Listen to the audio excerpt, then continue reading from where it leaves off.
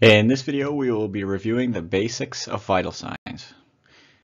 So this is a video that I wish I had when I first started nursing. Um, in this video, we're going to review body temperature, heart rate, uh, blood pressure, respiratory rate, and oxygen saturations. These are uh, basically the essential vital signs that you're going to need to know. But more importantly, we're going to learn about context. Um, nursing school, I feel, did a great job of teaching you, you know, what the normal blood pressures are, heart rates, vitals, everything like that, etc.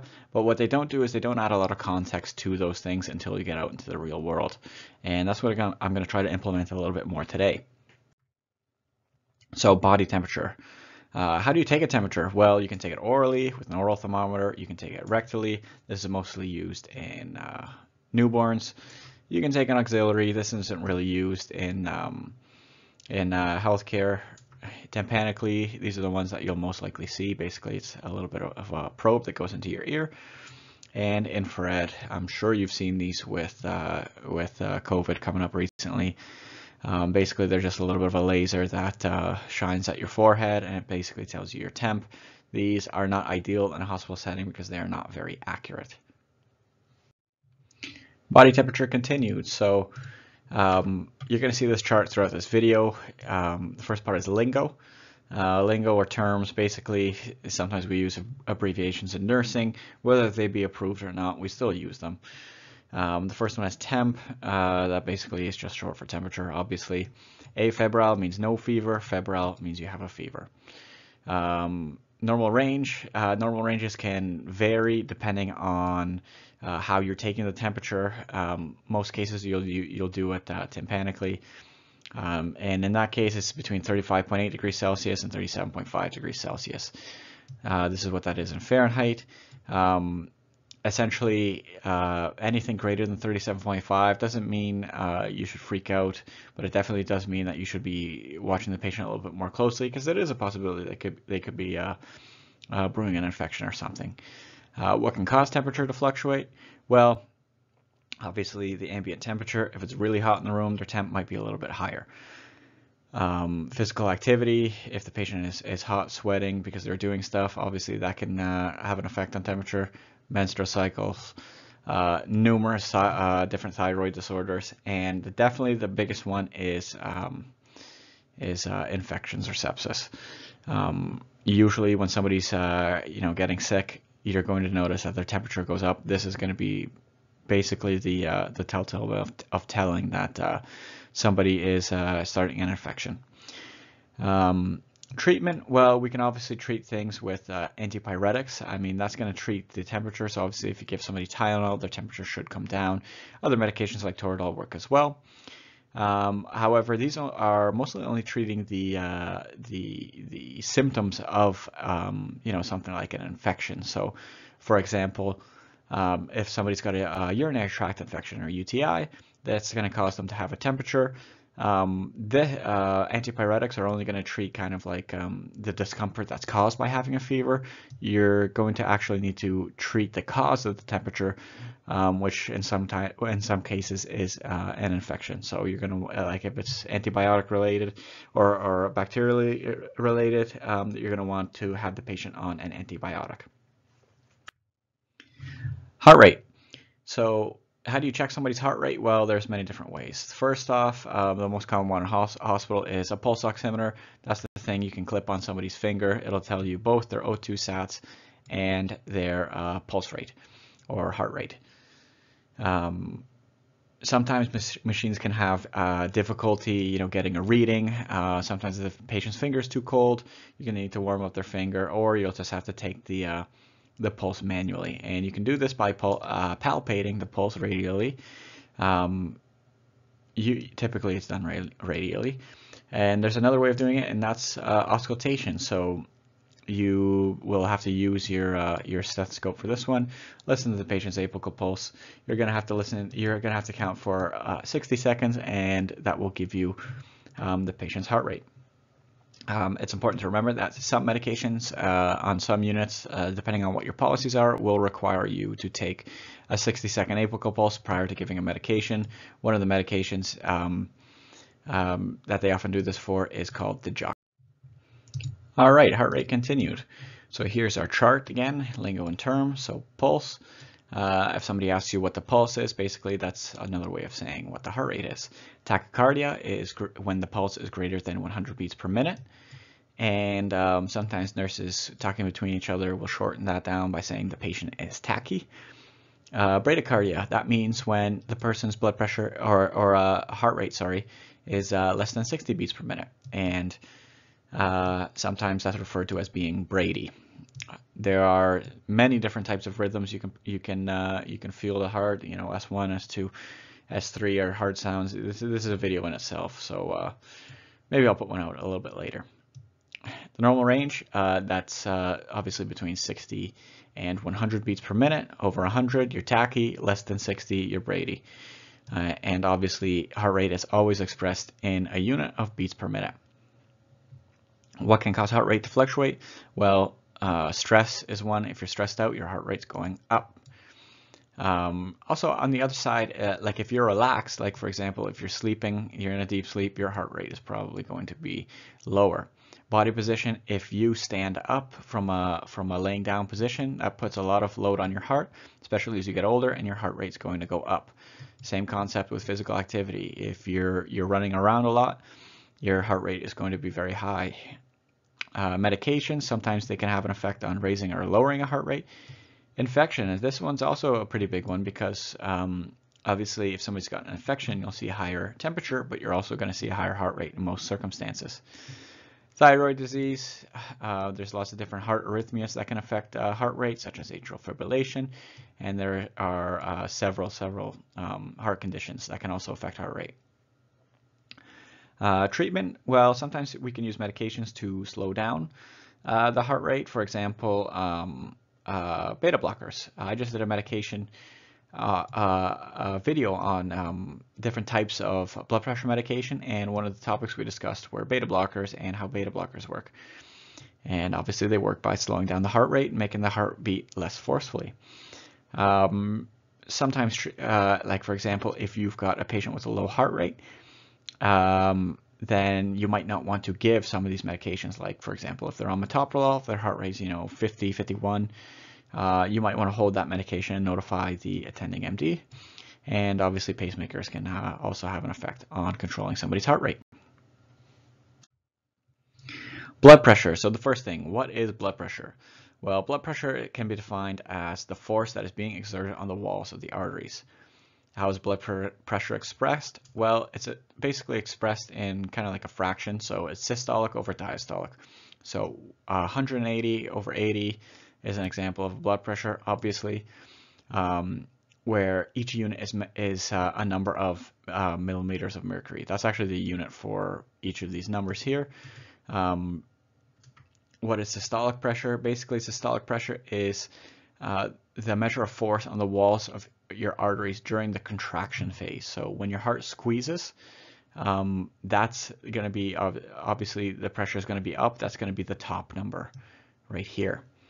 Um, typically, we pay more attention to the uh, the systolic blood pressure than the diastolic blood pressure because this one's going to be the one that gives you the most problems. Uh, what is diastolic? Well, diastolic pressure is the measure of force on the walls of your arteries between beats. So it's important to remember that approximately one third of uh, the cycle of your heart beating is spent during the systolic uh, systolic blood, uh, blood pressure, and two thirds um, is uh, two thirds of time is spent uh, in in uh, diastolic pressure because your heart beats and then goes into a resting phase. The resting phase is twice as long as the systolic phase, or in other words, beating phase. Um, if you wanted to calculate, uh, there's a little bit extra, if you wanted to calculate mean arterial pressure, um, basically you do um, the systolic uh, the systolic blood pressure uh, plus two times the diastolic pressure divided by three. Uh, not really relevant for this video, but an extra piece of information for you. Blood pressure continued. So uh, how do you take a blood pressure? Well, there's basically two ways of taking a blood pressure, two main ways I should say. There are others. Uh, the first one is uh, with an automatic blood pressure. So basically this is, uh, you know, I'm sure in the hospital you've seen these cars that they roll around, they, they strap a cuff, they press a button on a machine, and it gives you a result. The other one is manually. You often see these at doctor's offices where they'll use a stethoscope, they'll use uh, uh, a sphygmometer, and um, and uh, they'll pump it up themselves and they'll listen to it themselves. I'm sure there's plenty of videos on YouTube that tell you how to do that. I'm not going to make one. All right, blood pressure continued. So we've got our chart again. Obviously, it's a little bit more full because uh, we have a lot more to talk about. So some lingo terms. BP obviously is a short version of saying blood pressure. SBP, that stands for systolic blood pressure or the number on the top. Um, hypertension or being hypertensive, that's defined as uh, systolic blood pressure of greater than 130 or 140 millimeters of mercury. We'll discuss more about normal ranges when we get to this category. Um, and hypotension is obviously the opposite of that. So that's when your systolic blood pressure is less than 90 millimeters of mercury. So the patient can either have hypotension or be hypotensive. Like, uh, sorry, they, they could either have hypotension or be hypotensive. It just depends on how you're wording the sentence.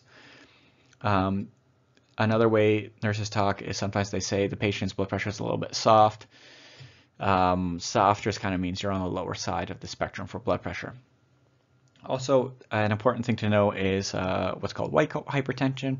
For example, if somebody goes to their family doctor or they haven't been to the doctor in a while, they see the doctor come in in uh, what's historically been in a white jacket. Um, they get nervous, their blood pressure goes up as a normal response, um, that's not a true representation of what their what their blood pressure normally is, and um, it it uh, it's it's not an accurate representation of what their blood pressure is. It's just a reaction of of how they're reacting to the environment that they're currently in. Normal ranges. So this is where things get a little bit uh, kind of gray and convoluted. Um, historically, 120 over 80 has been, you know, the textbook blood pressure. But best practice is always changing. You know, it, it, it, these days it truly depends on what book you read. More and more, what uh, what uh, we've been seeing in hospitals is uh, that patients most often have, uh, um, you know, their normal of of a blood pressure. That's not to say that, um, you know, it's normal for a patient to walk around with a blood pressure of of of 170 over over um, you know 85 or whatever. 170 is also obviously a, a, high systolic blood pressure. That's you know it shouldn't be normal for everybody. But you know as you get older as you get into your 80s your 90s some people you know they, they typically ride around you know they, it could be 130 140 you know sometimes 150s blood pressure medications can always be tweaked but um, it's important to remember that if you're taking somebody's blood pressure and it's that high and you look through the previous vital sign records and it's always been that high, well, that's probably around their norm. Um, obviously, medications can be tweaked to adjust it, but it's not something to panic about. An important thing is if you're going around and you're taking people's blood pressure, uh, it's important to kind of remember, like, is this before or after they've gotten their blood pressure medication? So sometimes if you take a patient's blood pressure in the morning before you've given them their medications, and their blood pressure is, you know, say like 160 over, you know, you know, 85. Um, that's a little bit of a higher blood pressure, but uh, take a look at their medication record. They probably have a bunch of medications coming up.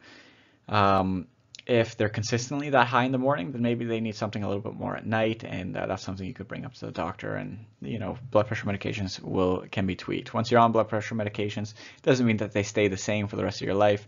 They'll get tweaked throughout your entire life. What can cause blood pressure to fluctuate? Well, you know, almost every, almost anything. Um, emotions and stress, we kind of talked about that with the white coat hypertension. So um, if, uh, you know, if you're, if you're nervous or, or something, your blood pressure is obviously going to be high. Dehydration, um, sometimes the patients, or sometimes nurses refer to this as saying the patient is dry, meaning they're dehydrated. If you don't have um, uh, you know enough fluids if you're not intaking enough fluids in yourself into yourself uh, your blood pressure can probably go down because you have less blood volume in your uh, in your blood vessels and therefore less pressure being exerted on your blood vessel wall. If your blood pressure gets too low your body's going to have a, a, very difficult time uh, perfusing your vital organs. Infection obviously infection is going to be in almost every single vital sign that we're going to discuss.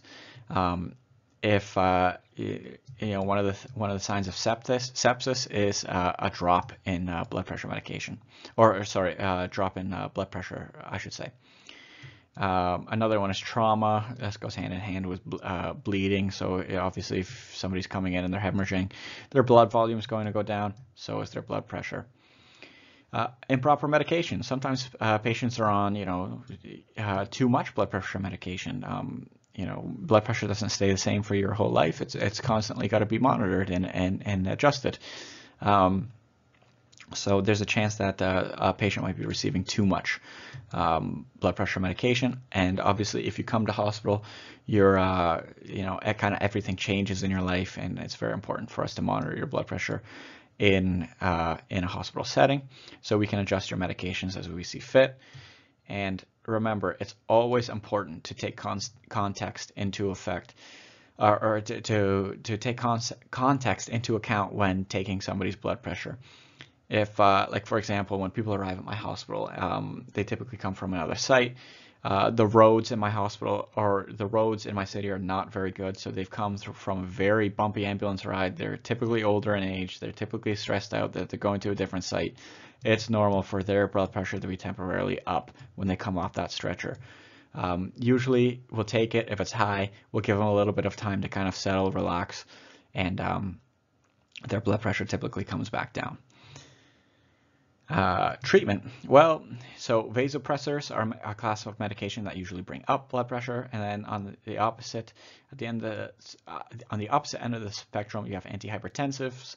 There are tons of different, uh, you know, blood pressure medications. I've made a whole video about it. Um, I'll put the, uh, I'll try to put the link in the description if I remember. That's a great video to watch. They all work differently, but uh, obviously you can take a medication to lower your blood pressure. Also, an important aspect for nurses is not giving certain medications. For example, if your patient's blood pressure is, you know, 91 over, you know, 53, you probably aren't going to want to give them a lot of blood pressure medication. You're probably not going to want to give them, you know, their whole dose of Lasix. You're going to want to notify, you know, you know, the doctor and um, say, listen, do you really want these medications given? And they're they're probably going to adjust them or just hold them for a day and then they'll reassess them tomorrow. Um, so I, you know, part of part of my career, you know, I've, I've worked in both hospitals and uh, long-term care, uh, and um, I've always been surprised at how effective uh, pushing oral fluids can be. So in long-term care, you you don't often have you know the resources to you know IVs. You can't just throw in an IV bowl somebody, give them a little bit of fluids to bring up their blood pressure. You know, if you take their blood pressure and their blood pressure pressure is low, you can also uh, you can always encourage uh, them to take uh, an increased amount of oral fluids.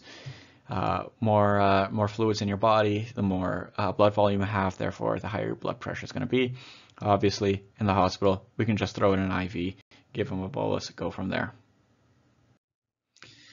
All right, so this is a, a little bit of a bonus, um, a, a, bonus slide. Um, it's called troubleshooting blood pressures. Uh, basically, if you're a student, you're probably going to be taking a lot of blood pressures when you first get to clinical. It's going to be, you know, one of the basics of nursing. So what do you do if you get a really high or, or low blood pressure reading? And what if the machine gives you like an error message? So one of the first things that you that you have to remember is the fact that uh, machines are not always perfect. Sometimes they can have problems. Sometimes they'll give you, you know, like a weird result. So when you get a, a weird result, so um, you'll, you'll double check the other arm. You'll always want to do bilateral uh, blood pressures if somebody's blood pressure is um, um, not kind of where you want it to be. Sometimes you'll look through their, uh, you know, their previous vital signs and say, you know, they're always, you know, the stock's always 130, 140, um, but today they're, they're, you know, in the 80s. Um, take it again on the other arm, and then you can kind of compare the two, and you have more data to to work off of. Um, also, try repositioning the cuff. If it's giving you an error message and uh, or, or, a weird result, reposition the cuff.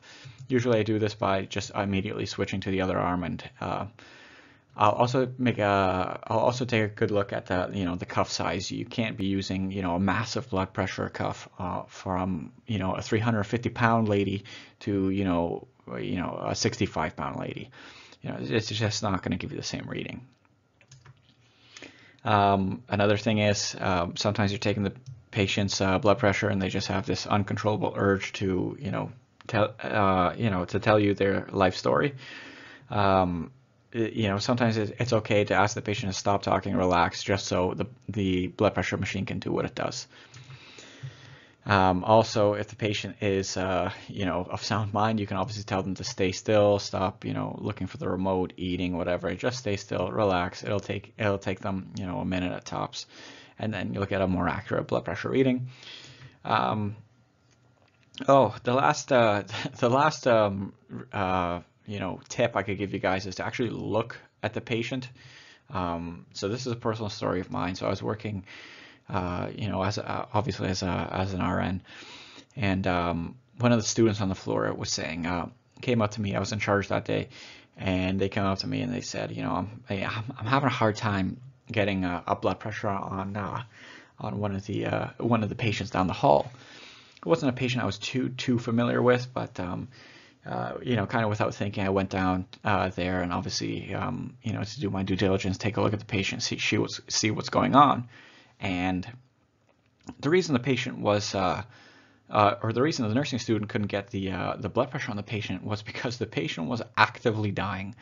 Um, the thank God the patient was uh, palliative. I don't know why we, why the nursing student felt it was appropriate to take a blood pressure on a palliative person, but um, you know, it's important to to look at the patient and and the, the, the patient was clearly dying. I think they lived for like maybe another hour. They probably didn't have uh, you know much of a blood pressure left, and that's why the machine was was uh, was kind of freaking out.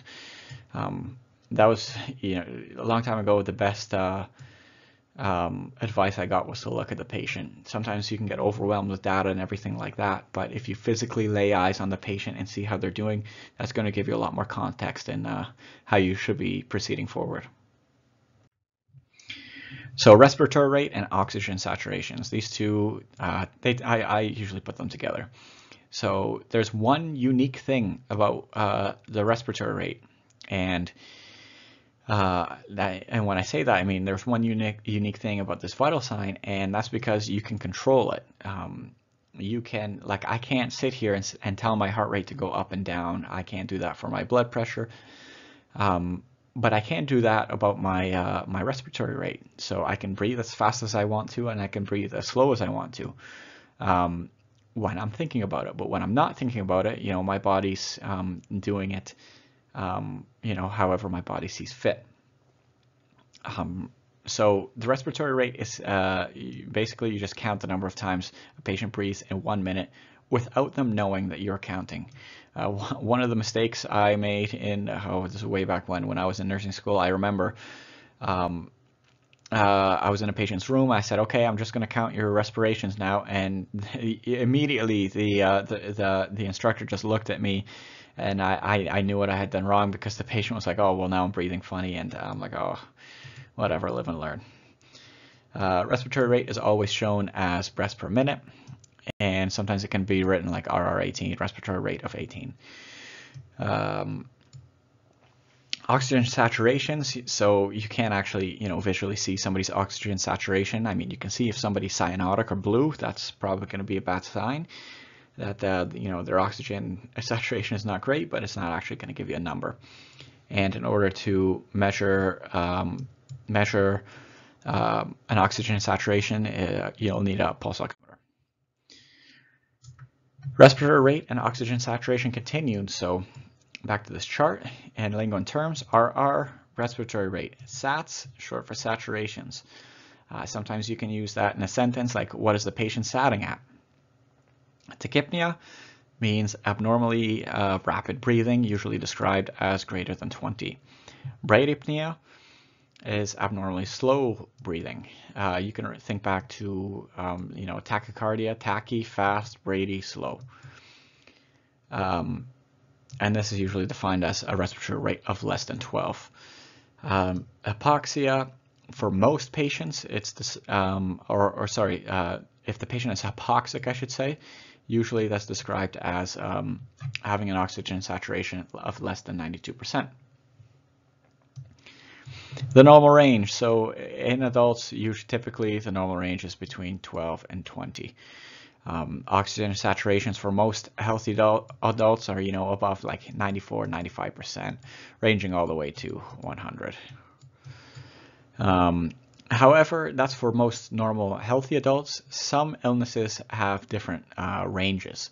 So for example, if you have COPD, um, historically what you want your COPD patients at is between 88 and 92 percent. Um, you don't want them, uh, you know, too much higher in most circumstances because that'll actually suppress their uh, their respiratory rate, and you know that's a whole video in itself. Basically, what you need to know is um, it's okay for patients with COPD to to have have a lower um, oxygen, oxygen saturation because in those circumstances it's actually good for them. Obviously, too low is obvious is is bad as well. Um, so what can cause respiratory rate or O2 saturation to fluctuate? Well, obviously activity. If you go for a run, you're going to be breathing much harder. Sleeping, um, kind of the opposite end of the spectrum. If you're not doing anything, your respiratory rate should be very low. Um, infection, uh, sometimes if, if, you have an infection, your respiratory rate will go up.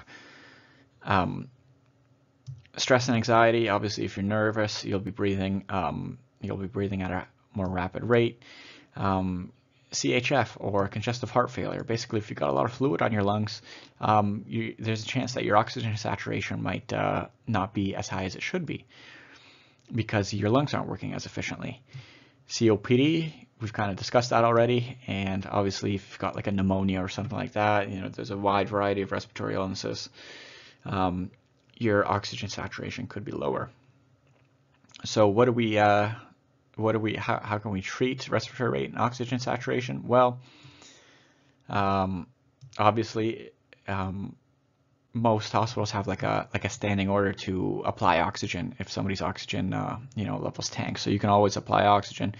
Many different ways of doing it. You can do it with nasal cannula, a rebreather, venti mask, lots of different uh, lots of different ways you can apply oxygen to somebody. Um, but most of the time the treatment is dependent on the actual cause of um, you know whatever you're looking at so kind of like we discussed like if, if, somebody's having you know CHF their saturations are low you um, you might want to ask the doctor for an extra dose of Lasix in order to get that extra fluid off of their lungs and that will in turn help their breathing and increase their oxygen saturation and I guess uh, I, I could obviously add that if somebody if we really need to protect somebody's airway and uh, their respiratory rate, we can uh, we can intubate the patient, um, but that's usually in you know more critical care areas. So that pretty much summarizes the uh, the basics of vital signs. Um, if there's one thing you can take away from this video, just remember to take the vital signs and put them into context. Um, you know, oftentimes there's reasons for why a blood pressure is a certain way or why uh, an oxygen saturation is a certain way. Um, please subscribe. Um, I think we've just hit uh, 22,000 subscribers, which is which is awesome. And if you've got any suggestions for future topics, please comment them below and uh, and uh, let me know your thoughts. Thanks so much.